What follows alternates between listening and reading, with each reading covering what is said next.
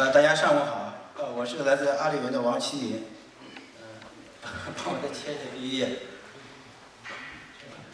那今天跟大家呃分享的一个主题是呃 Service Mesh 服务网格技术在多机群呃企业应用中的一些实践经验。呃呃，简单个人介绍一下，就我现在是在阿里云在负责这个就是服务网格 Service Mesh 一个产品叫 ASM，呃，后面讲的内容呢虽然是以这个产品作为起点，但是他讲的所有的经那个实践经验啊，包括他的一些技术原理，啊，是可以运用到任何一个 Service Mesh 一个产品或技术上面。OK。那这张图呢，大家应该就是使用过 Service Mesh 的呃同学呢，应该是比较清楚。就在一个传统的 Service Mesh 这个体系下，啊，尤其在单进群模式下，啊，它是按照 K8s 的一个设计模式，啊，分为了控制面和这个数据面。那么在这个这种架构下呢，呃，我们在单进群模式下，啊，它是会把这个控制面和数据面组件，啊，通常是装在一个 K8s 集群里面。啊，这是一个最典型的使用 Service Mesh 的一个呃入门的一个呃拓扑结构。那么在过去几年，我们去服务客户的过程中啊，能够看到，如果使用了这种架构啊，它往往会出现一个什么样的问题呢？就是说，当它的控制面和数据面运行在一个 K8s 集群的时候，啊，它的 EC2 啊，就是以 EC2 为代表的 Service Mesh，EC2 对于 K8s 对于运行支撑 EC2 K8s 环境是有一个很强的依赖。也就是说，当用户想去使用一个新的版本的，比如 H 这个环境的时候呢，它往往是需要去针对它的底层的 K K 码 S 做一些升级。但在实实际升级呢，这个操作，其实在一个企业级的应用里面是一个非常高危的一个行为啊，它是非常呃担心就在升级过程中啊造成一些故障。那么怎么去缓解这种问题呢？就我们通过大量一些客户的经验，最后总结下来啊，我们发现这种强依赖。往往是发生在这个控制面，就是在 Service Mesh 以 EC2 代表的 Service Mesh，它的控制面是对于底层运行的啊 Kubernetes 环境是有一个很强的一个依赖。那么 为了缓解这种问题呢，我们就啊在三年之前呢，我们做了一个解法，就是把这个控制面啊进行一个解耦，啊把它独立出来，啊使它成为一个托管的一个独立运行的一个一个组件。那么在这张图里面就可以看到。呃，整个 Service Mesh 我们以 EC2 举例好了，以 EC2 整个控制面我们独立出来，啊，让它呃运行在一个独立的环境。那么这对于 ASM 产品来说啊，我们是把这个模块啊，它是以托托管的方式啊运行在这个云账号的一个资源侧啊，它是不占用用户的一个实际的 K8s 资源环境。那么这个模式呢，也是跟呃后来社区 EC2 支持一个叫 External EC2D 的这种模式是保持一致的啊。整个是这个架构呢，就使得这控制面和这个数据面独立的接耦运行啊。如果你的升级管理啊，也都是在呃控制面呃可以做到一个一键升级啊。这个过程呢，对于数据面几乎是无感的啊。呃，接耦之后还带来一个重要的好处，就是说在控制面因为没有这么强的对数据面的用户的侧的这个 Kubernetes 集群有一个依赖，因为依赖没了之后，我们就可以在上面去做一些更灵活的一些扩展。这些扩展呢，因为它没有这种依赖关系，它就又更更加灵活啊。比如说这里面我们在流量协议啊、安全啊，包括一些自适应的 XDS 优化、软硬体优化等等这些层面，我们就可以更加灵活的做一些扩展。那么有了这一个托管的控制面之后啊，解解耦之后，对于数据面来说，我们就可以变得呃支持的这个样数多样啊，而且就当然这个整个怎么变化啊，整个这个接口啊，它的。这个组件都是一个统一的方式。那么在这里面的话，我们其实可以看到，在数据面，我们传统的一个 Kubernetes 集群是跑在一个呃 ECS 虚拟机上面。除此之外呢，我们是对于呃像一些 E ECI 啊一些弹性实例呃弹性容积实例做了一些特定的一些定制支持啊，包括一些边缘集群等等都做了一些这种支持。那此外呢，我们也是对于在这个环境下，这是一个。可以看到，数据面是可以支持一个呃多多集群的模式啊，在多集群里面，既可以有云上的这个 Kubernetes 集群，也可以有线下的啊。在最右侧呢，我们可以对于支持一些呃友商一些呃 K 呃 Kubernetes 或者是用户自己建的一个 KMS 啊，可以自建 KMS 推跑到你的自己的环境上面啊，接入到阿里云之后啊，也可以通过 ASM 这个服务网络技术呢进行管理啊。可以看到，在这个体系下。它的数据链就变得很宽泛啊，它除了云上的这个环境之外，啊，对于对于自建的一些环境也可以使用到这样的一些技术啊。这样的话就是说，在数据链呃，我们可以去做的一个更加灵活啊，但是都是统一的方式进行接入。啊，刚才呃就是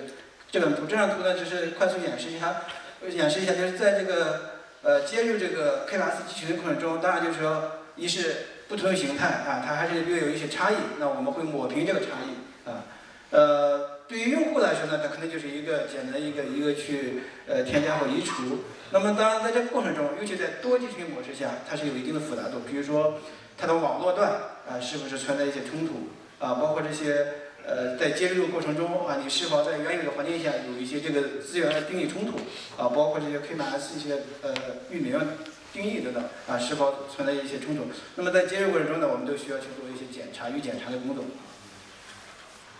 那么这张图呢，其实就是把前面讲到的一个托管的中间这块托管的这个控制面啊，加上底层的这个数据面组合在一起，其实就构成了整个这个呃整个的一个技术技术架构。那么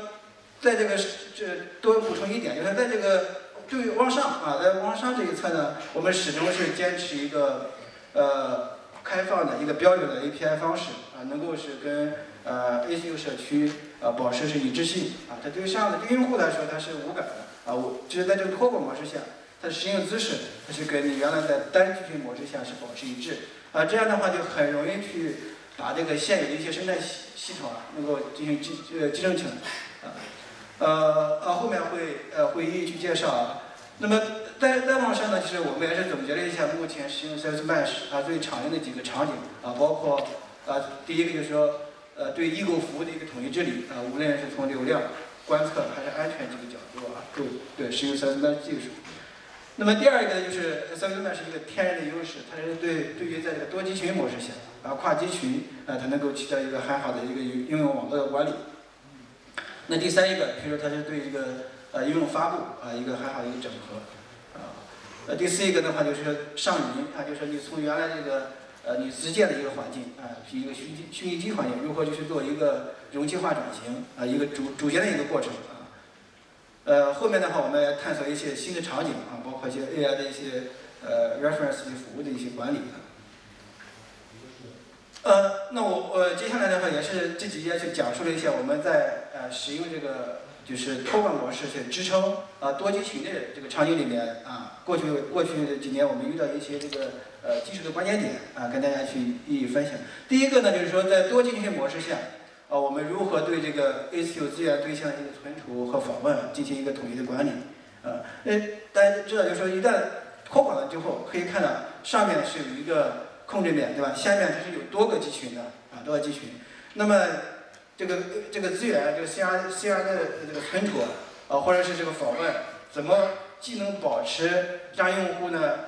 就是变一个行为习惯不会变成呃不会发生太大改变，就是说他原来在 KMS 集群里面仍然是可以进行操作，那我们这个行为应该继续保持下去。同时呢，又既然是多集群啊，又得保证这些资源那个一数据一致性啊。那么为了解决这个两两个问题呢，可以看到说，呃，这个。在上面这一侧啊，上面控制面这一侧呢，我们自然会提供一个呃一个标准的库 API 啊，用户可以去做标准的这些姿势去去做一些增强插改。呃，同时呢，在这里在上面控制面这一侧也会提供一个 etcd 来存储这些数据啊。那么在数据面这一侧，我们可以看到，针对每一个 KMS 集群啊，用户仍然是可以去使用它的一些库 API 啊，包括是使用 Helm 这样一些工具链啊，可以去进行操作。但是呢，区别在于。可以看到，就是在这个图里面，ACU 类型这个资源，它不会呃存储到这个数据面集群的 etcd 里面，而是进行一个转发啊，利用这个呃这这有一个资源聚合服务啊，去转转发到控制面啊，就是用户对于用户来说，它仍然是使用标准 API 呃去做一个做一些这个操作，但是数据呢，它并不会落落地在这个 K8s 集群里面，而是通过呃一个组件去转发到呃控制面。啊，这样的话，数据始终只有一份，这样也就保保证了它数据的一个一个一致性的一个问题。啊，同时呢，我们在托管这一侧，针对用户这个数据做一个更更呃好的一个保护啊。呃，另外一个场景就是在多集群模式下，怎么利用 s a l e Mesh 去提升一个 DSN 解析的一个可靠性？那这里面就分为两个维度啊。第一个维度就是说，呃，有个托管之后啊，就是以 ST 为代表，就是说 ST 的 API Server。啊，我们通常称为这个 Pilot，就这个这个 API Server 呢，它是呃往往是在这个托管模式下啊，会绑定一个呃内网的一个呃 CRP 啊一个负载均衡的一个 IP 地址。那这个地址呢，基本上就是创建完一个实例之后，几乎都不会发生改变的。那么利用这个特点之后啊，就是我们缓解一个问题，什么问题呢？就是说我们过去就前几年我们在支持一个在线教育客户的呃一个过程中啊，就没有使用这个技术之前啊，在线教育是经常会出现一些呃弹性弹性的一些场景，比如说一个高峰，在高峰期间呢，它就会大量大规模的去创建 pod。那大家知道，就是这个 s a n t a Car 这个代理啊，它在启动过程中是需要连接这个 Pilot 这个 API Server。啊，连接完之后做一些交互啊，确认才才能够确认它就成功。那么在每次连接的过程中啊，它需要解析这个就是 ASUD 啊或者 Pilot 这个服务名去做一个呃就是有 host name 就服务名到 IP 地址一个呃一个映射解析。那么这个过程中啊，就需要一个大量的访问一个靠 DNS 靠 DNS server 啊，这个这个时候就啊我们发就是之前遇到过几次问题，都是把靠 DNS server 给打卡了啊，也就造造成不可又影响别的业务服务。那么使用了这个托管模式之后啊，我们能够把这个 a c d 或者 Pilot 的一个 server 这个地址啊，可以通过自动注入的方式啊，就写到这个呃业务 pod 呃这个业务这个这个 pod 业务数据面这个 pod 啊，它一个 host alias 里面啊，就把这个映射关系自动填充进去啊，就缓解了对靠 DNS server 的一个一个冲击啊，这是一个在大规大规模场景里面的一个一个关键点。那么另外一个角度就是说，呃，大家知道在大规模场景下呢，K8s 它除了提供靠 DNS server 的多副本来缓解这个压力之外，也是提供了 Node Local DNS Cache 这个这个方式。它是这个呃 Node 呃 Node Local 它是运行在每一个节点上面啊，用用来这个缓冲啊对靠 DNS 的一个呃解析请求。那么在这种模式下呢，呃，起到一定的缓解作用啊。同时呢，我们也是利用这个 Proxy。它一个呃，它一个代理，这个代理呢可以作为一个应用程序的一个一个 DNS 服务器啊，能够通过它通过这个 process 啊，能够去呃拦截一些对 DNS 请求啊，能够在一定程度上也可以去缓解服务调用时啊对靠 DNS 一个一个一个请求压力。那接下来的话就是说，我们就会去跟大家呃分享一下，就 Service Mesh 里面啊，它作为一个应用感知的原生应用设施。啊我们认为的就是，或者我们的理解就是，它在几个方面能够帮助用户去解决一些问题。那第一个角度呢，就是原生的一些应用服务的一些治理啊。那这里面的话，会讲一个全链路灰度的一个具体一个案例和一个场景，跟大家分享一下。第二一个的话，我们认为 Service Mesh 它仍然是一个就作为一个很重要的一个原生应用网络一个场景啊。我们会呃看一下一个实际案例，基于一些可用区信息的呃一个一个呃路由的一个一个呃介绍。啊，同时呢，也是结合在这个应用网络这个路由场景里面，也结合了个可观测能力，啊，看一下，呃，它是如何进行呃流转的。那么后面是会介绍一些安全啊，就是呃呃，Service 怎怎么帮助用户去打造一个安全的一个场景。啊，最后呢，去看一下就是呃，它作为呃一个原生应用生态的一个引擎啊，它怎么怎么拓宽 Service 在别的其他一些场景里面一些应用。OK，这是第一个这个场景，就是说，呃，Service Mesh 作为一个呃，就是原生应用治理的一个场景。那这个场景呢，也是呃我们的一个实际客户案例，它是客这个客户的一个研发体系里面，啊，它是需要一套这个需要多套啊应用应用环境场景。啊，这里边的话就大家就涉及到一个涉及到一个多集群模式啊。那什么意思呢？就在这张图里面可以看到，呃，就是这个客户呢在实际日常的开发测试啊，包括上线的。不同环呃场景里面是需要呃若干环境，比如说在开发环境，啊，它除了有一个基础的环境之外，啊基础版本之外，它会根据开发的一些呃功能的进度啊，需要拉出不同的一个开发环境环境里面，比如说开发环境一啊，它是呃发了两个新的版本，就是 B 和 D 这个服务，它有个新的版本，啊开发环境二呢，它是它是它是呃针对服务 C 和 D 呃拉出一个新的版本。那么同时，这个这个开发环境一呢，因为它只有两个，它它它的开发呃单元测试过程中啊，它是不需要再去把那个 A 和 C，A A 和 C 没有变化，对吧？它不需要再去重新部署 A 和 C 了，而是可以复用基础环境里面已有的 A 和 C 啊，来进行一个一个一个整合的调试。那开发环境二也是一样，对吧？它可不需要去部署它只需要只需要部署一些变化的呃这些这些版本就可以啊。变化的部分加上一个机械部分，来共同形成一个呃完整的一个一个环境。那么这个这个呃场景就是总结总结起来的话，业界通常称为就是呃逻辑隔离啊，它是一个进行逻辑隔离的那么一一套这个呃动态环境啊。那么这个这种方式呢，呃就是结合 service mesh 技术，能够得到一个很很好的一个支支撑啊。那么在右侧的话，就是说呃在这个呃预防或者在线上啊，也用户呢也是希望能够呃提供一个可以支持。灰度的啊，灰度上线的那么一套体系啊，能够在线上去做一个灰度发布啊，能够支持呃这个全链路啊，或者是这个按照一些别的模式啊，包括引导模式做一些这个呃管理。那么具体来说，具体来说是分为两个两两部分。第一个就刚才提到，就是说我们如何使用 CMAS 技术的呃这个全全链路这个流量管理这个这个手段，来帮助用户呢去达到一个逻辑隔离的。呃，动态多环境啊，那这个图呢可以看到，就是说，呃，对于用户侧来说，它的体感是什么？就是说，它是有一套这个呃，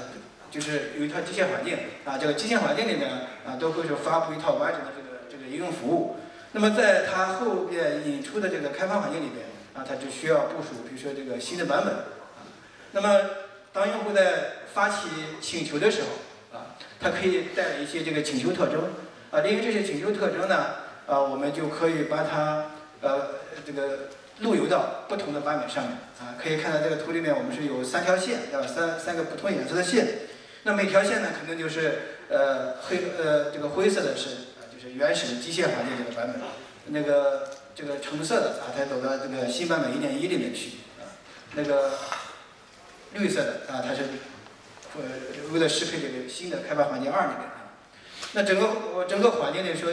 它也是多集群模式啊，根据这个实际情况，我们客户的这个实际环境是多集群啊，就是以往的话没有使用 Service Mesh 技术打造这个这个体系还是比较麻烦。那使用了 Service Mesh 技术这技术之后呢，首先多集群的这个特征啊，利用 Service Mesh 还好就抹平了啊，让用户来感觉呃从逻辑上是一个集群的方式进行管理。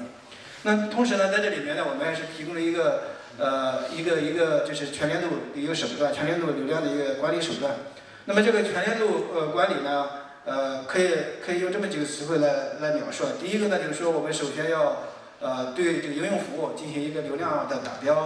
啊就是说能够为这个应用啊去打上一些不同的特征。这只有这个不同的特征描述进去之后，啊你才能有机会去利用这些标签对着特征啊，去定义不同的这个路由规则，啊从而能够实现这些动态的这个路由能力。那么在这个过程中呢，我们也是呃就是需要。呃，做一些染色的工作，就是什么意思？就是我们能够将这些流量的请请求流量啊，包括在响应的一些呃输出啊，都都要带上一些特定的标识啊。呃，就像在我们之前在做这个呃这个就 trace 啊全链路这个跟踪这个路径一样，我们能够让这个调用链路上啊能够保持一些特定的标识啊，从而能够让这个这个这个这个调用的流这个调用的链路啊，能够保持一个完整的一个全链路。呃，这里边的话，我们也是就是说实现机制里面也是实现了一个呃流量标签的一个 CRD 啊，包括当然它要配套的有自己的一些 controller 啊，就遵循 K8s 标准的一个实现机制啊，能够不需要用户去对应用层面做修改的情况下，我们就完成流量打标的工作。那当然利用这个 CRD 呢，我们可以支撑不同力度啊，包括按不同的工作负载，还有这个运用空间啊，都可以去做一些这个打标。打标完之后呢，它它仍然是。呃，去写一个路由规则，这路由规则我们是保持社区一致，就是你在 Wording Service 里面，A2 里面，我我有一个概念叫 Wording Service 的虚拟服务里面，啊，去定义这个路由规则，啊啊，当然这里面补充补充一个呃回退机制，啊，这回退机制就是说，比如这个图里面，在开发环境一里面，呃，那个它并没有部署应用应用的 C 这个新版本，啊，我们是能够支持回退，啊，从应用 B 的1.1这个新版本里面能够呃切到这个应用 C 的这个。一点零版本里面，就是从开发环境和机械环境，它是有一个呃这个回退的一个这个这个机制啊。那另外一个就跟它类呃就是呃也是这个完整方案里面另外一个场景，就是一个全链路灰度一个生产环境。那这里面会看到就是说技术层面其实是一样的，只是因为在不同的一个场景啊，你可以看到说我根据请求过来的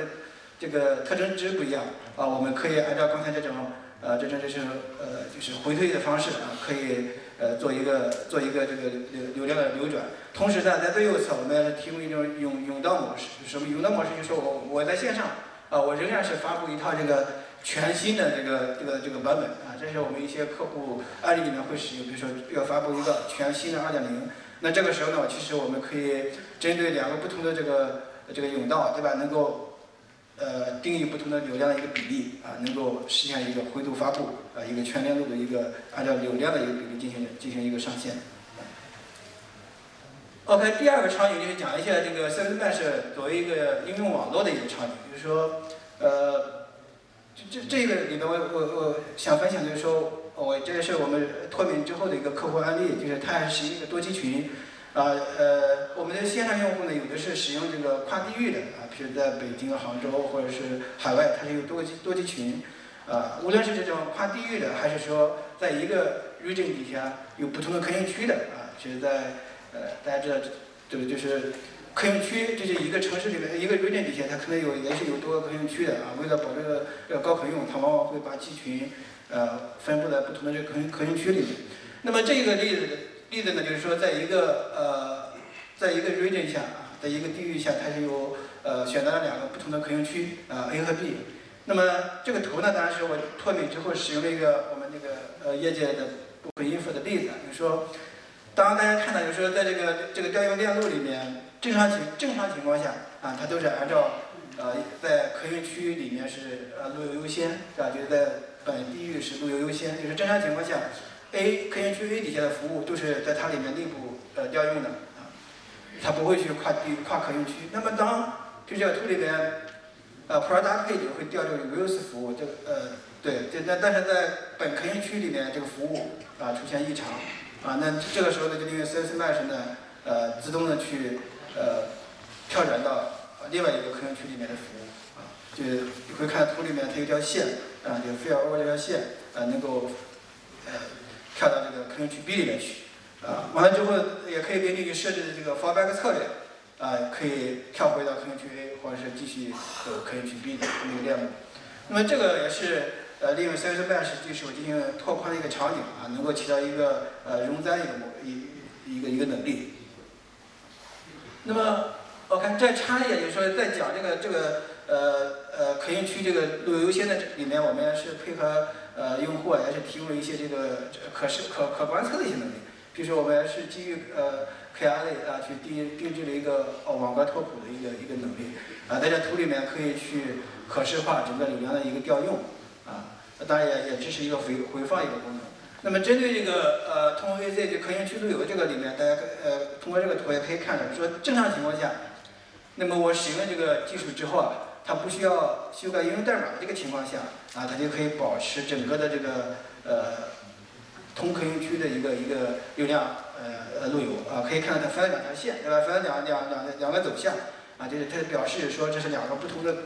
客运区啊，它是分别都是在自己客运区里面去调用的啊。那当某一个这个呃另外一个呃呃有某一个服务呃出现异常之后啊，你可以看到这个。呃，这个服务呢，调用呢，又会实现一个自动的一个故障转移，啊，非要 over 到另外一个客运区里边，啊，这个整个过程呢，都是呃，用户不需要去针对应用逻辑做一些定制，啊，而是通过 Service Mesh 技术一个无侵入方式去啊完成这个这个操作。啊，这个图里边也可以看到，就是说，呃，那个出现故障之后，它前它就会呃有这个第一个客用区 A 啊切到一个客用区 B 里面的一个服务区啊。它流量走向也会发生改变了啊。那么通过这么一套这个拓拓扑图，也可以很好的去观测到这些行为。呃，OK，下面这一个场景就是说，我们认为就在 Service Mesh，它是扮演的一个在这个安全层面啊起到一个很重要的一个一个作用。其实大家呃，就就关于零信任安全，在国外其实呃是非常火的一个概念。就 Service Mesh 我们接触的几个呃同行里面就是。在国外，零呃服务网的一个重要的场景，或是最重要的场景吧，就是就就之一啊，就是就是零信任安全。那在国内的话，我们实际也是支持这这几年的客户，就是呃可以跟大家分享，就是从呃今年开始，我们接触一些大型的客户，对这一点是开始关注起来。呃，我们有一个大型的客户呢，他对内部的一些系统啊，内部系统在调研过程中也开始重视零信任安全。就说你在原来里面，就原来的这个体系下啊，就是两个内部的模块之间调用是不考虑安全的啊。但是呢，后来出现一些这个风险之后啊，他们开始特别重视这个，就是哪怕那两个部门啊，它内部的一个体系，他们之间都必须走这个，就是默认对方是不安全嗯。所以说，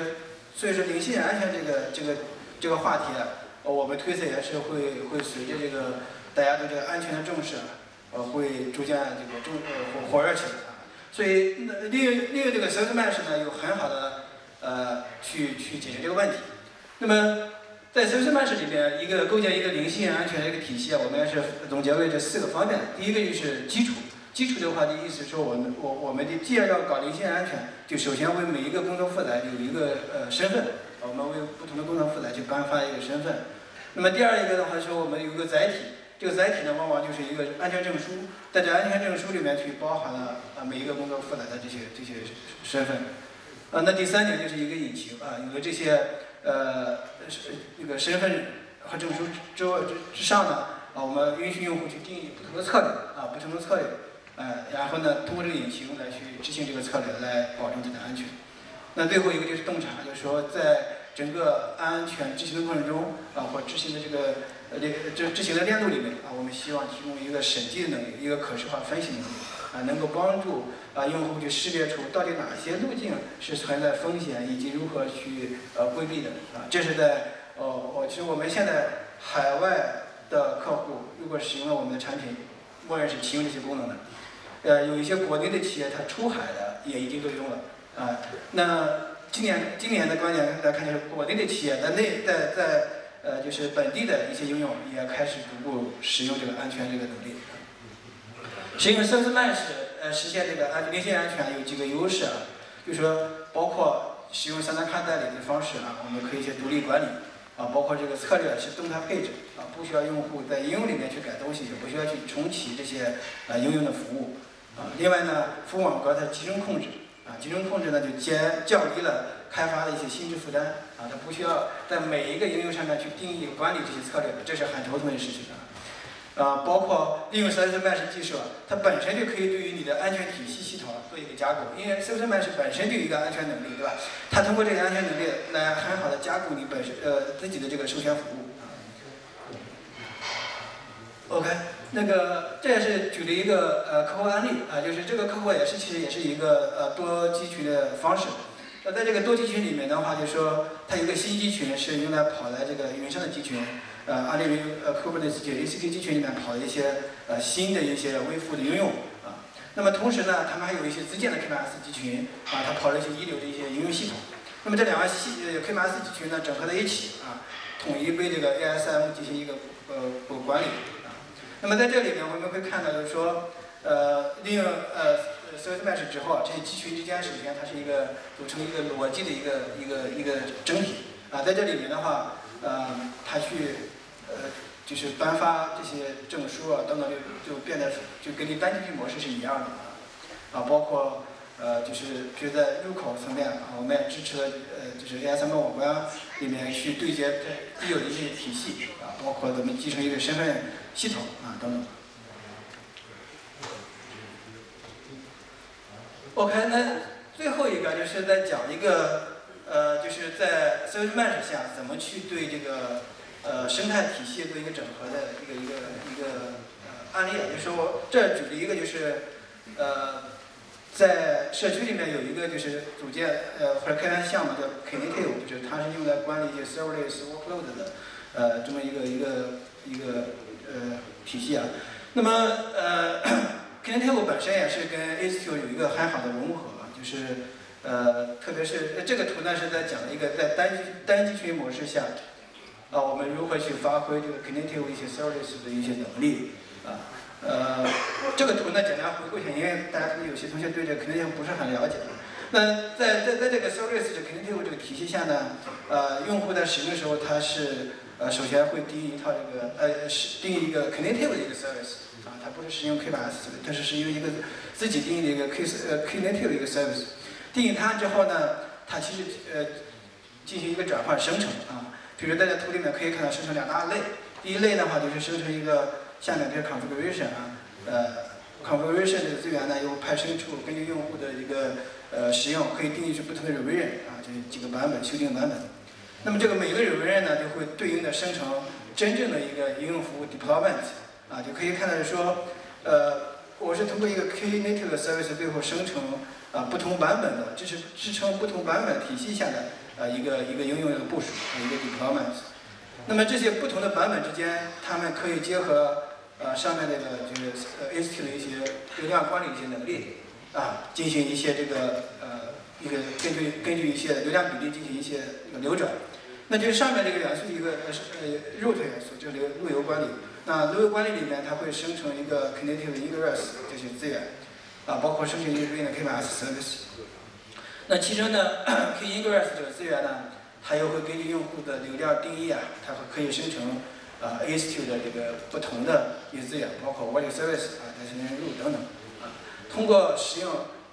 Service Mesh 这 AS2 里面这两两种这些这些这些资源。啊，能够帮助你去进行流量拆分，啊，拆分到就是根据你的流量比例，啊，切换到不同的啊目标服务 KMS 里面去啊。那么这个过程中呢，是单在单集群模式下，整个体系运转是呃，这是一个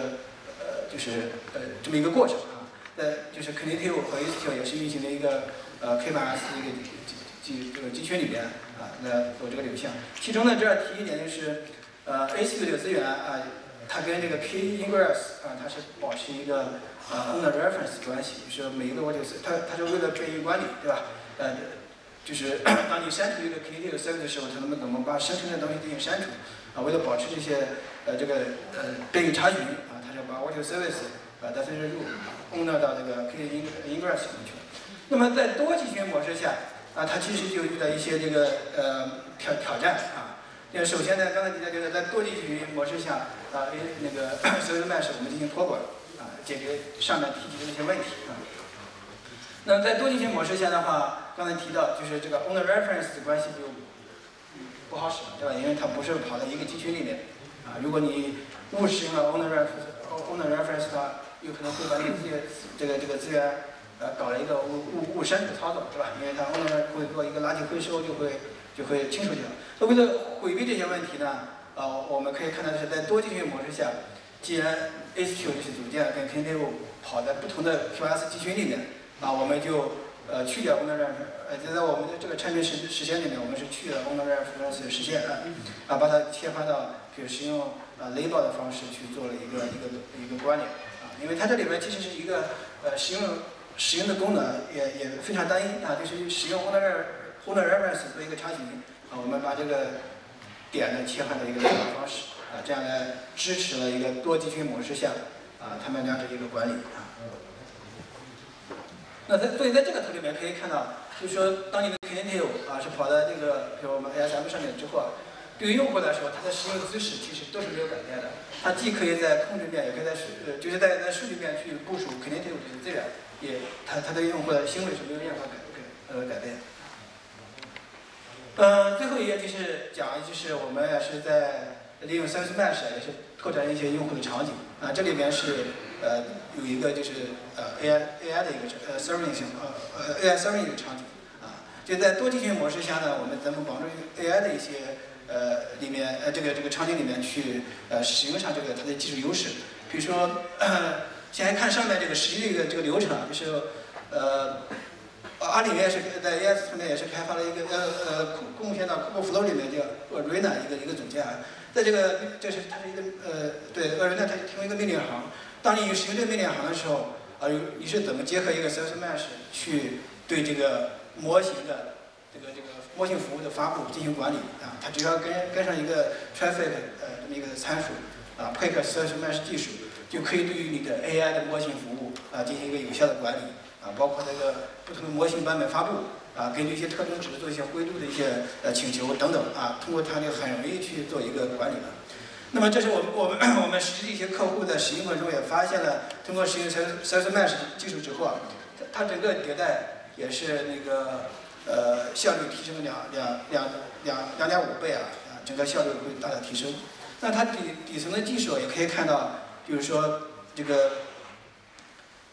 结合这个呃 Service Mesh，当然这里边容器，就是它是实现一个不断抽象的一个过程啊。它是首先通过 Service Mesh 把多个集群的一些管理啊进行一定层面的一个抽象。那么同时呢，结合 Knative 啊呃把一些 Service 的管理啊做了一个融合啊。除了这个 Knative 包括 Service Mesh、KMS 技术之外，这些原生技术之外呢？我们是使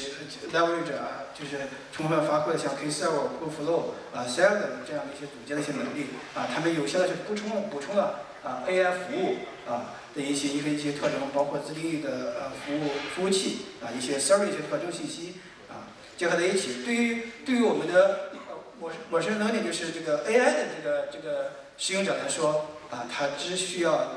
就是对他来说他他更关注的是最上面那一层。就是陌生能力，呃，对于服务管理如何去做发布的这模模型版本的迭代啊，它一些发布的这个这个一些一些这个管理，那整个这个操作方式呢，它也是被抽象化成为一些呃标准的 KMS、CRD 啊，用户只需要去定义这些 YAML 文件啊，就是成为这个通过 YAML 呃这么几个描述文件，就可以对于原来的这些 AI 服务做一个呃做一个很好的管理。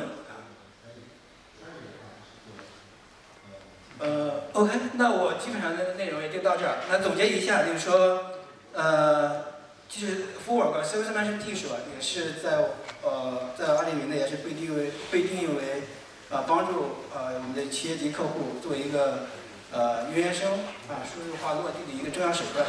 啊。同时呢，也是帮助用户做一些呃降降本增效的一些一些能力啊，能够就是说原生基础设施上面啊，通过融合的 Service Mesh 技术。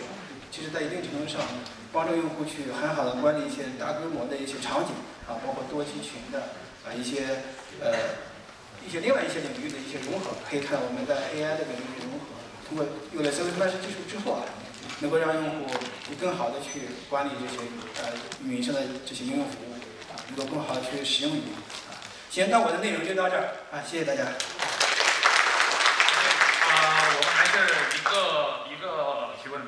后边那个朋友去先举手啊。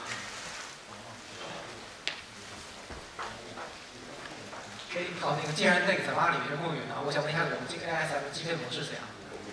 比如说我那个我有一个 OP 的一个，就是说我客户本身有一个 Kubernetes 集群，然后我还想和阿里云本身阿里云的这样一个设备去结合，然后我想进行一个统一的本地化和一个云上这样一个双集群管理，这样的一个计费模式怎样？然后还有一个就是 SLA 或者是那个阿里云对我们的支持是这样的，比如说我们自己的 SM 升级肯定是阿里云负责的话，那我们的公钥地址这样一个 KYS 升级，阿里云会帮助我们去打派什么和那些其他安全上升级两个体系。好，行，那个 OK，那先回答第一个问题，就是收费模式的问题。呃，目前我 ASM 就是刚才讲的，就是托管这一侧呢，我们是按照呃，就是呃提供两个固定的规格啊，就什么意思？就是说。呃，我们分了两档，你看这个，呃，一个是叫这个企业版，一个叫一个叫旗舰版，啊，就是什么意思呢？我们就是，如果你的这个数据面被被 service mesh 管理的这个工作负载泡的数量，呃，是在应该是一千吧，呃，数数字可能不是特别准，因为脑子中就是一千个啊，就是一千个跑的之内，啊，它可以使用企业版，啊，企业版，那它这个它又是有一个价位是在。每小时六块钱，只有六块钱，对吧？每小时六块钱的一个费用。那么，当你的泡的呃超过这个一千个之后，啊，是到呃五千还是多少来着啊？第二档的时候呢，它是是可以使用旗舰的，啊，它的费用呢会有一定的一定的这个提高。现在我们提供两个固定的呃模式下的价格，啊，你可以根据自己的一个实际情况去选用这两两种不同的这个这个规格。流量是单独计费的还是？呃，就就是 ASM 本身就收这一部分这这一部分钱，就是说，呃，你要选的企业版，那就是一小时六块钱；你选的企业版，可能一小时是